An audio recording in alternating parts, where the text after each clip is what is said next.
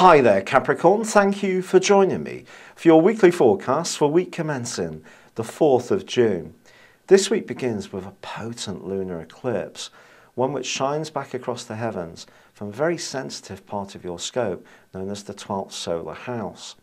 The suggestion here is if there is something that you've been putting up with for some time that's been having a real psychological or physically draining influence on your life, this is the time to really start to take action to try to change this, to try to put things on a better footing. That could be that you feel that you're being dutiful, caring, protective. It's possible that you're trying to do your very best because you feel you should adhere to the rules that you were taught when you were very young.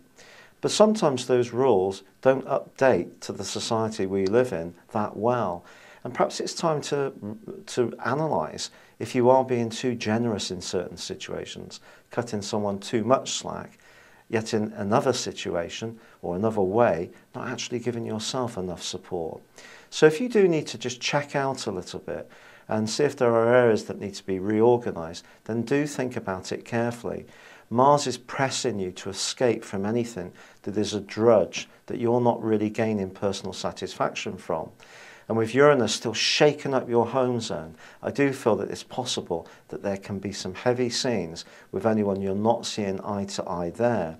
The key also is to try to get other people to take some of the load.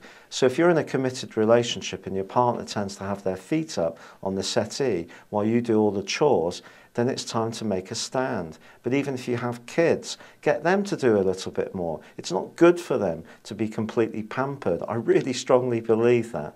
And the more that everyone takes a little bit more of the strain off of you, the more your energy will start to pick up, the more your verve and enthusiasm for life will revive. And that can really be helped by the move on Thursday of Mercury into your sector of relating. And I think something really sweet can happen for you in this regard in the second half of this week. It just won't be in the way that possibly you might imagine. Thank you for joining me. Good luck and goodbye for now. If you would like a live reading with one of my team of astrologers or psychics on private webcam, then please why not have a free chat? You can do this by instant messenger. But if you do go on to have a reading, unless you're completely satisfied, there's a 100% money back guarantee. And also the price points are very affordable in this time of global belt tightening from 69 pence a minute in the UK or 99 cents per minute if you're located anywhere else in the world, included the United States. Thank you.